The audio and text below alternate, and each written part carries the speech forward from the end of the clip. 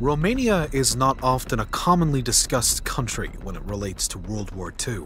Despite spending time aligned to both the Axis and Allies, the southeastern European nation was not necessarily a belligerent at the forefront of the conflict. Nonetheless, Romania impacted World War II in multiple significant ways. One of particular importance, though, actually had nothing to do with combat. Instead, it was something the Allies knew the importance of all too well oil. Europe, 1943.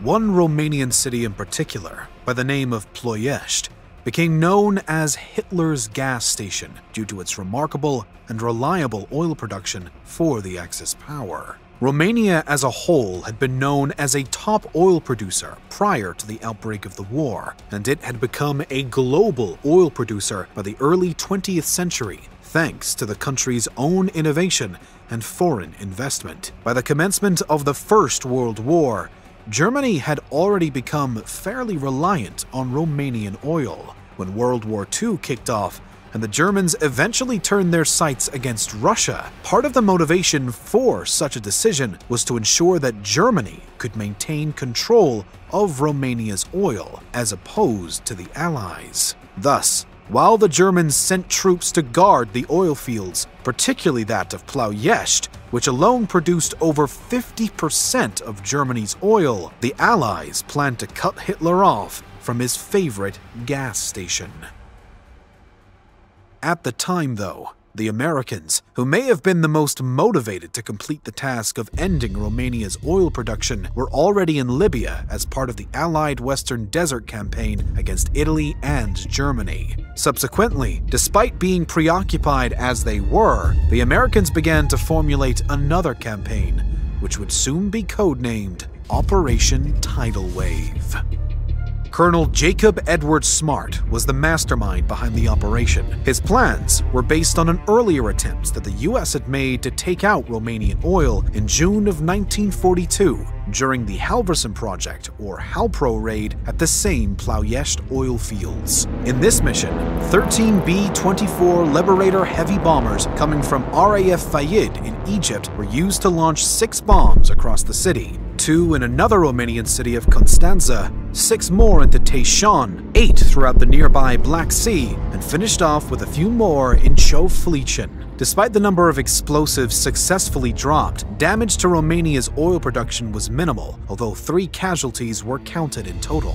When this raid occurred, the Americans had scarcely faced any pushback from the German Luftwaffe or Romanian defense. As a result, Colonel Smart felt as though the chances of facing a strong response from the Axis would once again be slim, and therefore that sending even more planes with more bombs would only provide further success. His plan then was for the American 9th Air Force, with the assistance of the 8th Air Force, to launch the raid in daylight and at a low enough altitude to at least avoid German radar detection. This low altitude bombing was not a common concept, and repeated drills were carried out in the Libyan desert to ensure that such a task could be effectively completed. 1,751 airmen and 178 bombers, the same type as in the prior raids, were to be employed for Operation Tidal Wave, and the actual bombing of the targets was meant to be done simultaneously. To get there, the bombers would take off from their airfields in Libya flying over the Mediterranean and the Adriatic Sea before passing by Corfu Island, navigating above the Pindus Mountains, then continue on into southern Yugoslavia before entering the southwest of Romania and heading east to their destination. Then, if all went well, and under the assumption that the Germans would have a mild reaction this time, as they did before, all targets would be bombarded at the same time, and Romania's oil production capabilities would be devastated.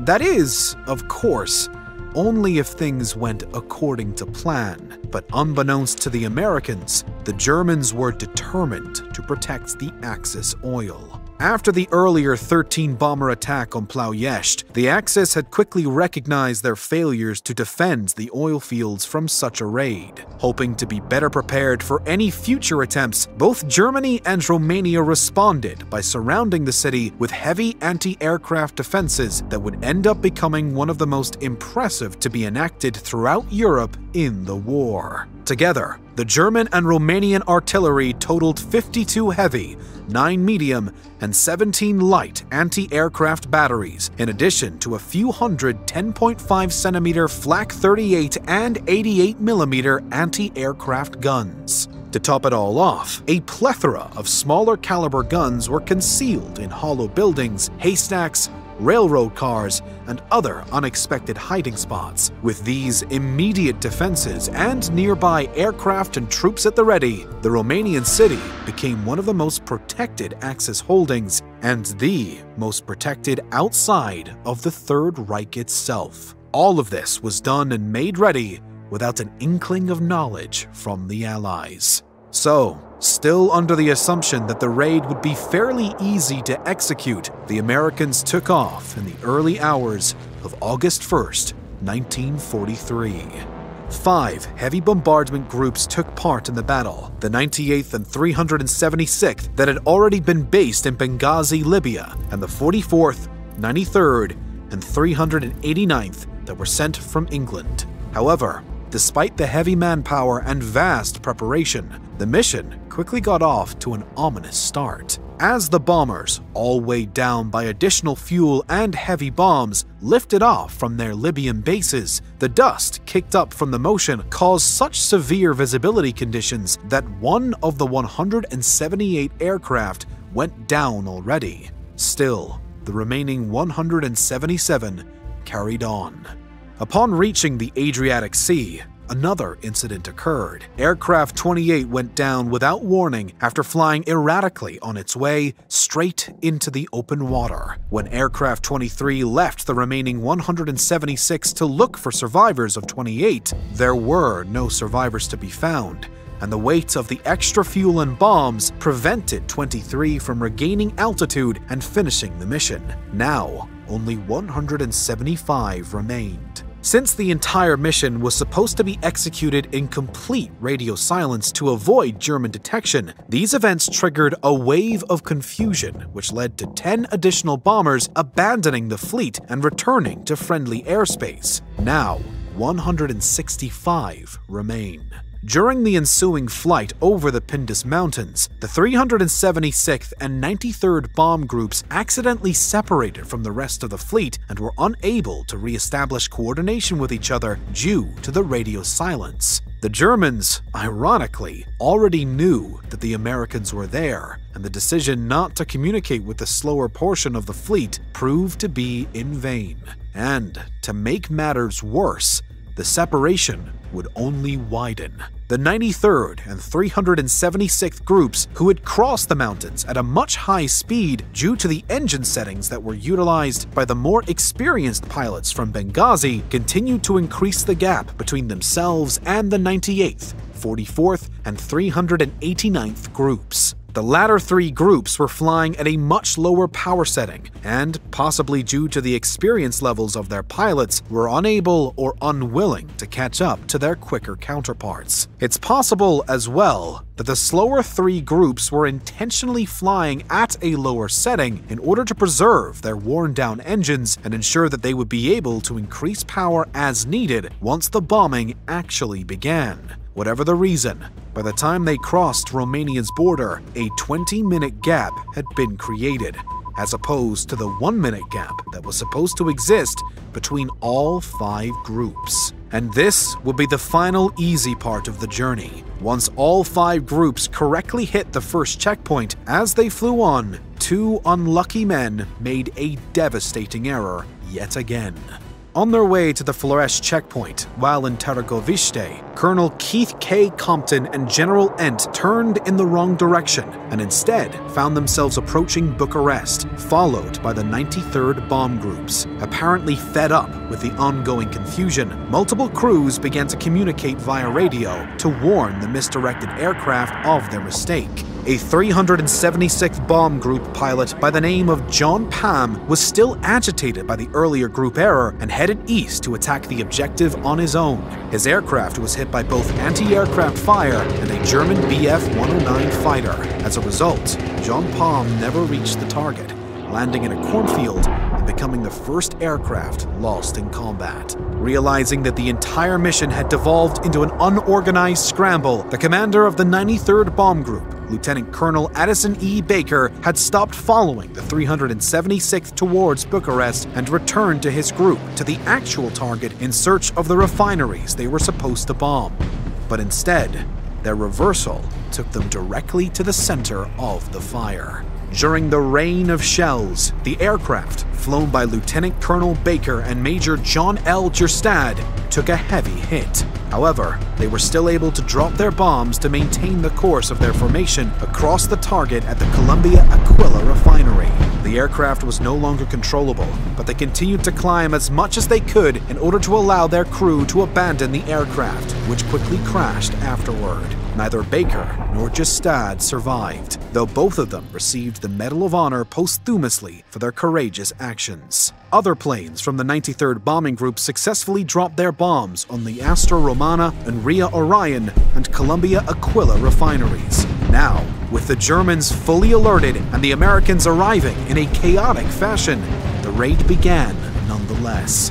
The events that followed would earn the day the depressing nickname of Black Sunday as the Americans quickly took heavy casualties. The low altitude of the mission greatly affected visibility after the first bombs were dropped, and surviving airmen spoke of how debris and flames engulfed their crafts, in addition to heavy fire from Ploiești defenses.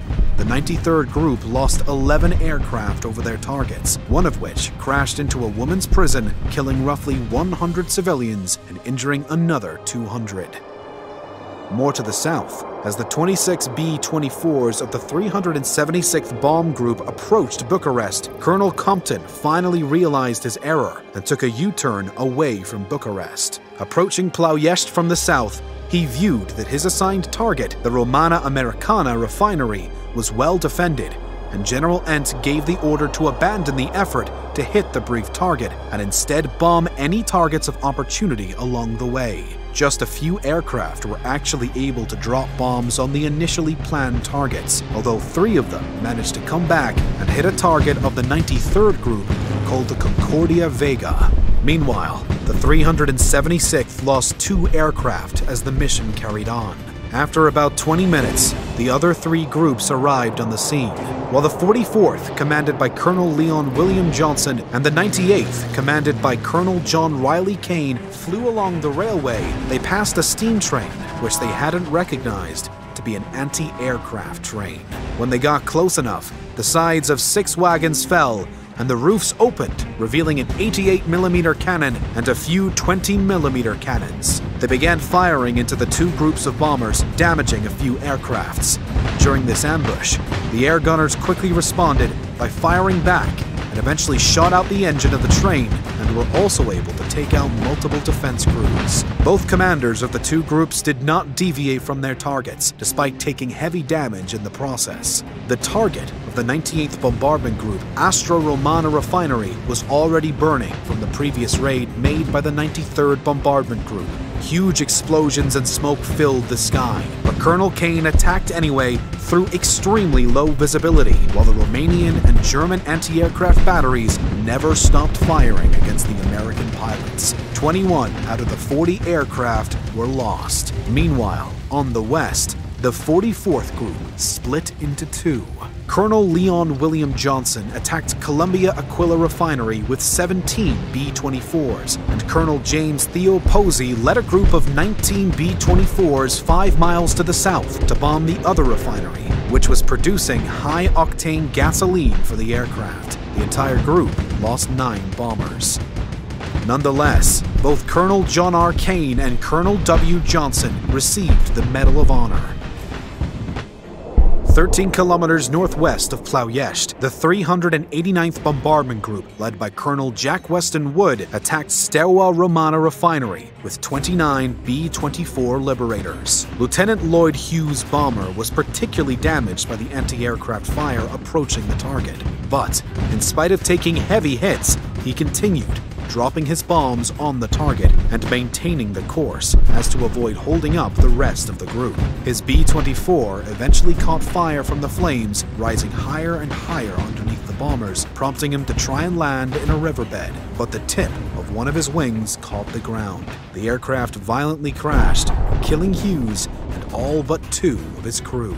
However, Lieutenant Hughes was posthumously awarded the Medal of Honor. In total, the 389th Group lost four planes in the chaos, but their mission was successful, taking the refinery out of service for the rest of the war. Still, the results of the raid were short of expectations. Of the nine refineries targeted, only six were struck, with the overall production of those six reduced by a mere 46%. But the effects were short lived, and the devastation done to the US airmen was no less calamitous. Most of the lost production was restored fairly quickly, within months or even weeks, but for Steaua Romana refinery, production was cut off for the rest of the war. And while the targets that had been struck as planned validated the effectiveness of the low-level tactics, unfortunately for the Americans, the navigation errors limited the impact on the additional targets and caused three to be missed entirely. Only 88 bombers returned to Libya that night, and 55 of them had severe battle damage. An additional total of 23 aircraft landed at Allied bases in Cyprus, Malta, and Sicily. And as for the men behind the crafts, over 500 Americans were either dead, missing, or captured. Axis losses consisted of three Romanian fighter planes and one airman, as well as five German fighters and three air crews. Adding to these numbers, three German soldiers and 12 Romanians were killed at anti aircraft gun sites. Despite the successes relating to the damage done to oil production at Ploiești, the mission had gone much differently than planned, and a huge part of this was due to human error. Nonetheless, many Americans were deemed heroes that day, and five were given the Medal of Honor, though only two survived to truly receive it. Although this would become the record setter for most Medals of Honor awarded to airmen in a single mission, it was still considered to be an overall disaster and was not reattempted.